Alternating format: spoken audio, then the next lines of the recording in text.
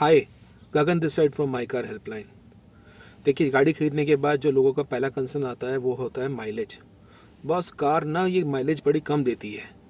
मेरी कार चौदह का माइलेज दे रही है कंपनी बीस इक्कीस किलोमीटर की माइलेज क्लेम करती है. या मेरी कार सत्रह अट्ठारह की माइलेज दे रही है डीजल के अंदर जबकि कंपनी अट्ठाईस किलोमीटर प्रति लीटर की माइलेज क्लेम करती है. तो बड़ा डिफरेंस है इसके अंदर. तो आज मैं इस वीडियो के अंदर आपको बताने वाला हूँ how to calculate car mileage what are the reasons of low mileage in a new car, and how to improve your car mileage, whether you are owning a new car or used car. अब देखिए, पहला part ले लेते हैं कि how to calculate car mileage बड़ा simple है car की माइलेज कैलकुलेट करना। आपको जब भी अपनी माइलेज कैलकुलेट करनी है, आप अपना कार का टैंक फुल करवा लें। और ऑटो कट ऑफ़ जहाँ पे हो, उसके बाद आगे फ्यूल फिल ना करवाएँ। नंबर टू अपने कार के जो ट्रिप मीटर को या तो ज़ीरो कर लें या स्पीडोमीटर में जितने किलोमीटर्स है, उसको कहीं नोट कर लें। फिर नंबर थ्री, आप कार को करीब डेढ़ सौ किलोमीटर ड्राइव करें, जो भी आपकी रेगुलर कंडीशंस रहती हैं। उसके अंदर आप चलाएँ and drive it for 150 kilometres and जैसे ही आपकी गाड़ी डेढ़ सौ किलोमीटर पहुँच जाती है, उसके बाद number four again go to the same petrol pump और कार के टैंक को दोबारा फुल करवाएँ और दोबारा ऑटो कट ऑफ़ के बाद फुल आगे फ्यूल ना भरवाएँ उसके अंदर। जितने कार के अंदर लीटर्स पेट्रोल या डीजल जो भी आपकी गाड़ी है, वो आती है, उसको डेढ़ सौ से डिवाइड करें you will get to know car mileage आपको ज़रूरत नहीं है कि आपको टैंक पूरा एम करवाना है, उसके बाद दोबारा आपको टैंक फुल करवाना है. You only have to drive 150 kilometres which is considered an industry bench इससे आप कार की माइलेज कैलकुलेट कर सकते हैं. और नंबर टू बात कर लें, देखिए नई कार के अंदर माइलेज कम क्यों रहती हैं? देखिए, सबसे पहले इस चीज़ जानना ज़रूरी है, जो भी आप माइलेज देख रहे हैं, कार कंपनियाँ माइलेज क्लेम करती है ब्रोशर के अंदर एडवर्टीजमेंट के अंदर it's an A R A I mileage जो क्लेम माइलेज होती है, वो automotive research association of India जो मिनिस्ट्री ऑफ़ हेवी इंडस्ट्रीज़ ने सेटअप कर रखा है, उसकी क्लेम माइलेज है after doing the car emission testing अब ये जो माइलेज डिटरमाइन करते हैं वो बेसिकली सिमुलेट करते हैं इंडियन ड्राइव कंडीशंस को उसमें ये टेस्टिंग करते हैं और रियल लाइफ में कार ड्राइव नहीं होती है। उसी सिमुलेट कंडीशंस में जो भी कार के एमिशन नॉर्म्स आते हैं और साथ में जो माइलेज डिटरमाइन होती है वही माइलेज एक कार कंपनियाँ अपने ब्रॉशर में मेंशन करती है। सो so, अगर आप एक्सपेक्ट कर रहे हैं कि जो ये सिमुलेट कंडीशन से रियल कंडीशन से मैच कर जाएँ तो ऐसा नहीं होता है। अलग अलग सिटीज़ की अलग अलग ट्रैफ़िक कंडीशंस होती हैं वेदर कंडीशंस होती हैं स्टॉपेज टाइम होता है। इसीलिए ही ए आर की माइलेज रियल लाइफ माइलेज से मैच नहीं करती है। अगर आपने सुना होगा आपके फैमिली में या पहले जब गाड़ियाँ रिपेयर होती थी तो मैकेनिक बोलता था, बॉस, कार रवा होने में टाइम लगता है। ये बात आज भी बिल्कुल एप्लीकेबल है। कार के अंदर पिस्टन होते हैं फ्यूल लाइंस होते हैं इंजन होते हैं। जब आप न्यू कार ड्राइव करते हैं, उसके अंदर ये सारे कंज्यूमेबल आइटम्स फ्लो करते हैं।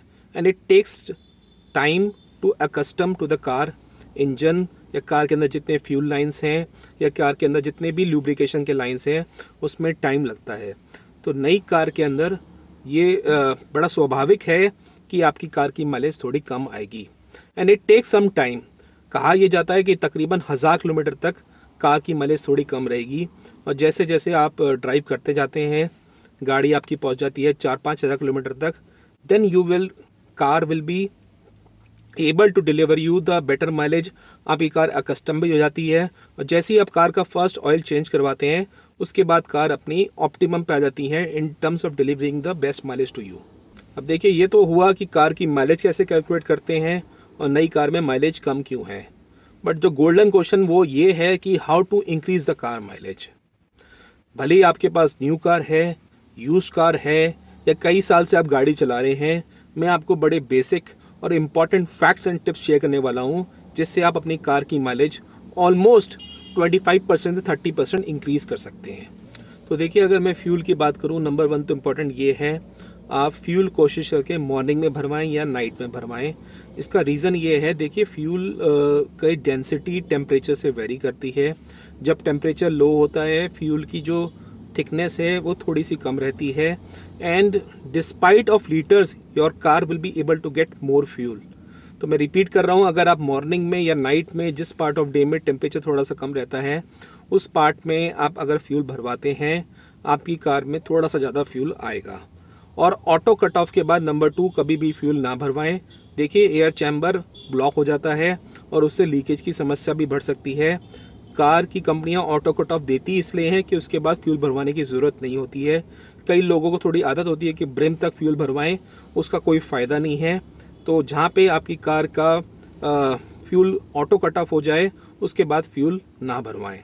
अब मैं अगर ड्राइव की बात कर लूँ, देखिए, जो सडन ब्रेकिंग होती है सडन एक्सेलरेशन होता है, आपको चाहिए कि सडनली मैं गाड़ी एकदम से चला दूँ, बहुत तेज़ी से हाई आर पे, या सडनली ब्रेक लगा दूँ तो उससे भी कार के फ्यूल की वेस्टेज होती है। इट्स अ कार और it's not a sports car so आपको थोड़ा सा जेंटल होकर कार चलानी चाहिए। इसके बाद ज़रूरी ये है कई लोगों को आदत होती है कि क्लच को हर वक्त अपना लेफ़्ट पैर रखना और एक्सेलेटर पर राइट पैर रखना। इससे क्या होता है, क्लच प्लेट तो बंद होती ही होती है, जिसमें खर्चा बहुत ज़्यादा है, आपकी कार की माइलेज भी काफ़ी कम आती है। तो ऐसा ना करें, आपका लेफ़्ट फुट रिलैक्स करने को है and only put it on the clutch plate when required to change gears अगर आप क्लच पे पैर रखेंगे और एक्सेलेटर पे आप राइट फुट रखेंगे तो आपकी कार की माइलेज कम होगी होगी। नंबर थ्री ये है, आप जो कार के गियर शिफ्ट करते हैं, मैंने पहले बताया आपको, आप बहुत ज़्यादा स्पीड पे कर रहे हैं, आप आर बहुत हाई लेवल पे लेके जा रहे हैं तो उससे भी आपकी जो कार की माइलेज है, वो बड़ी ज़्यादा इम्पैक्ट होगी। आपको समझना होगा कि आप जो गियर शिफ्ट कर रहे हैं you should do it at the recommended speed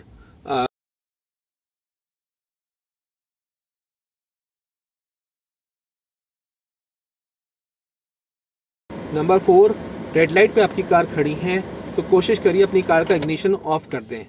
idling से आपकी कार का फ्यूल बर्न होता ही होता है and it does no good अगर आपकी कार का stoppage is more than one minute then please switch off the ignition do not waste fuel pollution create ना करें, और अपनी कार की माइलेज भी अच्छी रखें। और next thing is the basic checks देखिए, आपको समझना होगा कुछ बेसिक चेक्स बहुत ज़रूरी हैं। कार के जो टायर्स हैं, उसका एयर प्रेशर इंश्योर करिए एवरी टेन डेज़ या जब भी आपका टैंक फुल करवा रहे हैं फ्यूल का whichever is earlier please ensure to get the tyre air pressure check अगर आप लॉन्ग डिस्टेंस ड्राइव कर रहे हैं सपोज़ आप बॉम्बे से पुणे जा रहे हैं और दिल्ली से आगरा जा रहे हैं या किसी केस में if you are driving a long distance ensure करिए उस डिस्टेंस में पहुँच के बिकॉज़ आपकी स्पीड ज़्यादा रहती है तो वहाँ पहुँच के भी अपनी कार का टायर का एयर प्रेशर ज़रूर चेक करवा लें। अगर टायर का एयर प्रेशर ज़्यादा हुआ या कम हुआ, उससे आपकी माइलेज पर भी इम्पैक्ट पड़ेगा और टायर का भी वियर एंड टीयर होने की चांसेस बढ़ जाती है। इसके अलावा आपको इंश्योर करना है जो कार की अलाइनमेंट है वो आप ज़रूर चेक करवा लें every five thousand kilometres important ये है अगर अलाइनमेंट आउट ऑफ़ ऑर्डर हुई तो कार के टायर तो वियर आउट हो गए ही होंगे।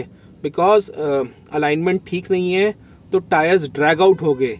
It will not rolling in a complete way which it is design to उस कारण ड्रैग आउट होने के कारण भी आपकी कार की माइलेज इम्पैक्ट पड़ेगी। और last but not the least आपके जो कार के अंदर एयर फ़िल्टर होता है उसे कोशिश करके every ten thousand kilometres ensure to get it cleaned या आप रिप्लेस करवा सकते हैं उसको। एयर फ़िल्टर से आपकी जो कार की परफॉर्मेंस पिकअप है, उस पर बहुत फ़र्क पड़ता है और आपकी कार की माइलेज पे भी बहुत फ़र्क पड़ता है। कुछ और रीज़न्स भी होते हैं। देखिए, अगर आप ये सब चीज़ें फॉलो कर लेते हैं, उसके बाद भी ज़रूरी नहीं है कि आपकी कार की माइलेज बहुत बढ़िया आएँगी। मैं आपसे कपल ऑफ़ रीज़न और शेयर कर लेता हूँ। देखिए, कई बार ऐसा होता है, जिस पेट्रोल पंप से आप बार बार फ्यूल भरवाते हैं, वो फ्यूल कंटेमिनेट होता है। आपने कई बार वीडियो में पढ़ा होगा कि पेट्रोल पंप वाले बेमानी कर रहे हैं तो वो भी पॉसिबिलिटी आप डिनाई नहीं कर सकते। So try some other petrol pump जो दूसरी चीज़ है, वो है कार का जब आप एसी ऑन करते हैं, हो सकता है उसके फ़िल्टर्स क्लोकड आउट हों उसके कंडेंसर क्लोकड आउट हो, और जैसे आप कार का एसी ऑन कर रहे हैं इंजन पे और ड्रैग पड़ रहा है उसके कारण आपकी कार की माइलेज कम है। और number three be related to E C also E C U भी बिकॉज़ कार के पूरे कमांड सिस्टम देता है तो हो सकता है उसमें कुछ एरर्स आ रहे हों, उसके कारण भी आपकी कार की माइलेज कम आ सकती है। So I hope I am able to help you out with this video अगर आपको वीडियो पसंद आता है please do upward for it और जो भी आपके फैमिली फ्रेंड्स रिलेटिव्स हैं, उनसे ये वीडियो शेयर करना ना भूलिए। माई कार हेल्पलाइन चैनल को आपने अब तक सब्सक्राइब नहीं किया है तो ये चैनल भी प्लीज़ सब्सक्राइब कर लीजिए। Thank you